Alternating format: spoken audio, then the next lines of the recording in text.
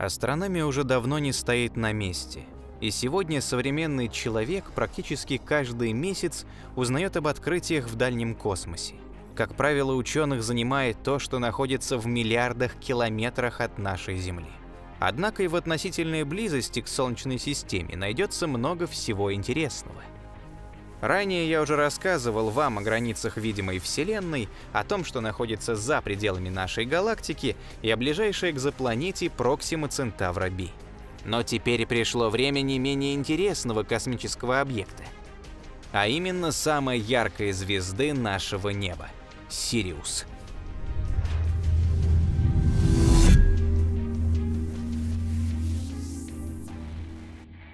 Большинству этот объект известен как единая звезда. Однако на самом деле Сириус представляет из себя звездную систему, которая состоит из двух космических тел – Сириуса А и Сириуса Б. Обе звезды вращаются вокруг общего центра масс на расстоянии приблизительно в 20 астрономических единиц. Для сравнения, это всего лишь на одну астрономическую единицу больше, чем расстояние от Урана до Солнца. Период их оборота вокруг центра составляет 50 лет. Первый компонент, Сириус А, является видимой для нас звездой спектрального класса А1, которую на протяжении множества лет воспринимали как единственную в этой системе. По массе она примерно в два раза тяжелее нашего светила, а радиус на 71% больше радиуса Солнца. Из-за своего близкого расстояния к нам Сириус А является одним из самых простых объектов для любительской астрономии. Звезда удалена от нашей системы на 8,6 светового года, а ее яркость в 25 раз превышает солнечную. Кроме своих размеров и массы, данное небесное тело также превосходит нашу главную звезду и по уровню температуры – которая достигает 9940 кельвинов на поверхности, тогда как температура на Солнце доходит только до 5778. Наиболее интересной особенностью объекта является высокое содержание железа в его атмосфере, которое доходит до 316% от солнечного, а данные спектра говорят о наличии других элементов тяжелее гелия. Вероятнее всего, обогащение этой звезды металлами произошло несколько десятков миллионов лет назад из-за влияния соседнего объекта. Если же говорить о дальнейшей эволюции этой звезды, то Сириус А, вероятнее всего, будет существовать в нынешнем виде еще примерно 660 миллионов лет, после чего превратится в красный гигант, а затем в белый карлик. Несмотря на то, что сегодня науке известно всего несколько тысяч белых карликов, данный исход является типичным для звезд относительно близких к нашему Солнцу по своим размерам и массе. Обнаружить такие объекты непросто, и это связано с низкой светимостью и малым диаметром. Однако ученые полагают, что их общее количество в нашей галактике может достигать 10 миллиардов, то есть около 5% всех звезд Млечного Пути. Второй компонент звездной системы Сириус как раз и является подобным объектом, и именно он стал первым обнаруженным белым карликом. Еще в 1844 году знаменитый немецкий астроном и математик Фридрих Бессель заметил, что траектория движения Сириуса А периодически отклоняется от прямолинейной. Бессель объяснил это поведение влиянием некой скрытой массы, которая вместе со звездой вращается вокруг общего центра.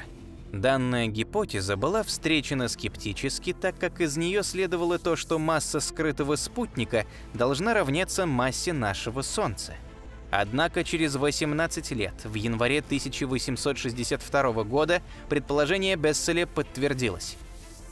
При испытании нового 46-сантиметрового рефрактора американский астроном Аливан Грэм Кларк открыл рядом с Сириусом маленькую звездочку, чье орбитальное движение соответствовало расчетам Фридриха Бесселя.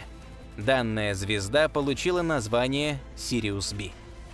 Объект представляет из себя самый тяжелый белый карлик из всех тех, что известны науке и обладает примерно одной солнечной массой. Однако даже несмотря на такой внушительный для своего вида показатель, его объем более чем в миллион раз уступает солнечному, а по размеру он сопоставим с Землей. Вероятнее всего, перед тем, как стать белым карликом, эта звезда прошла через два основных этапа развития. Через период главной последовательности, а затем через стадию красного гиганта. Ученые считают, что процесс превращения Сириуса B в белого карлика произошел примерно 120 миллионов лет назад. А когда-то масса этой звезды достигала приблизительно 5 масс Солнца. На данный момент Сириус B обладает едва заметной светимостью, которая составляет 26 тысячных от яркости Солнца и имеет очень высокую температуру поверхности, которая достигает 25 200 кельвинов. Поскольку этот белый карлик не имеет внутреннего источника тепла, со временем Сириус B будет постепенно охлаждаться, и в течение более 2 миллиардов лет, вероятнее всего, превратиться в гипотетический черный карлик. Правда, пока что наука не наблюдала такие объекты. В отличие от своего молодого соседа, эту звезду нельзя так же легко увидеть на нашем небе, из-за чего долгое время Сириус B был скрыт от науки. Только 15 октября 2003 года ученым удалось получить более точное изображение объекта с помощью космического телескопа Хаббл. На данном снимке можно увидеть обе звезды более яркий Сириус A и крошечный Сириус B. Данный объект входит в знаменитое созвездие Большого Пса и находится в южном полушарии нашего неба. Но увидеть невооруженным глазом его можно также и в северном. Из-за своей хорошей видимости история изучения Сириуса за множество лет постепенно обрастала легендами – еще в Древнем Египте объект называли звездой Нила и связывали с именем богини неба Собдит, поскольку ее утренний восход предвещал разлив реки в дни летнего солнцестояния. Упоминание о звезде можно также найти в трудах римских ученых Сенеки и Птолемея, которые описывали Сириус ярко-красным. К тому же этот объект также фигурирует в истории шумеро-аккадской китайской астрономии и также представляется как звезда красного цвета. Из-за подобных расхождений в описании Сириус получил печальную славу и в наше время стал причиной для появления множества псевдонаучных теорий. Временное покраснение звезды можно объяснить влиянием облака межзвездной пыли, которое делало проходящий через него свет красноватым и какое-то время находилось между Сириусом и Землей. Другим объяснением может быть вероятность нахождения в системе третьего компонента, период обращения которого равняется примерно двум тысячам лет. Подходя близко к Сириусу А, гипотетическое небесное тело может вызывать покраснение этой звезды. Однако на данный момент ничего хотя бы отдаленно напоминающее такой объект не было обнаружено. В апреле 2018 года космическая организация НАСА запустила транзитный обзорный спутник экзопланет, сокращенно ТЭС, целью которого является обнаружение экзопланет, вращающихся вокруг ярких звезд. Поскольку Сириус — это молодая звезда, обнаружение планет вокруг нее маловероятно, но спутник будет собирать данные, которые помогут более подробно ее изучить. Даже если в этой системе все же есть хотя бы одна большая планета, то наличие на ней форм жизни невозможно из-за слишком короткого промежутка времени с момента формирования самой звезды. Кроме того, любые планеты в зоне обитаемости должны были быть выжжены, когда Сириус Би находился в стадии красного гиганта, из-за чего шансов найти жизнь в системе практически нет. Вероятнее всего, Сириус является относительно молодой системой, и по современным оценкам ее возраст варьируется от 200 до 300 миллионов лет. Ближайшей к Сириусу звездой является Процион, расстояние до которого составляет 5,2 светового года.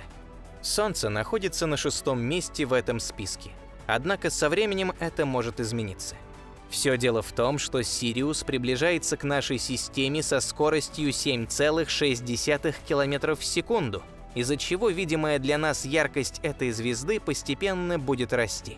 Сириус пробудет самой яркой звездной точкой нашего неба еще много тысяч лет. После чего, скорее всего, этот процесс должен будет запуститься в обратную сторону, и звезда для нас начнет постепенно угасать. В наше время многим может показаться, что астрономия является молодой наукой, так как большая часть открытий совершается с помощью использования современных видов техники. Однако на протяжении всей истории человечества люди изучали поведение небесных тел, и звезда Сириус служит тому наглядным подтверждением. Мы уважаем свою аудиторию, то есть вас, дорогие подписчики. И именно поэтому стараемся рассказывать только про самые интересные объекты из мира науки. Ваша поддержка в виде электронных лайков мотивирует нас двигаться дальше и ставить еще более грандиозные цели. Также я хочу поблагодарить всех тех, кто спонсирует нас на сервисе Patreon. Ведь благодаря вам наше дело продолжает расти. Я надеюсь, что вам понравился этот ролик, ну а мы постараемся снова радовать вас новыми видео. И услышимся!